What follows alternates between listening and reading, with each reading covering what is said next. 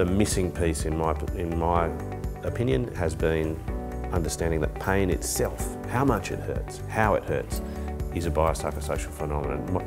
The ideal scenario for me would be that everyone, when they bend over to pick up a box and their back hurts, they understand what the pain scientists understand. Because we know that they will make different decisions about their own care, they will worry less, uh, and for clinicians, we know they will make different decisions about the care that they offer people, and those decisions empirically have better outcomes. That would be the ideal scenario.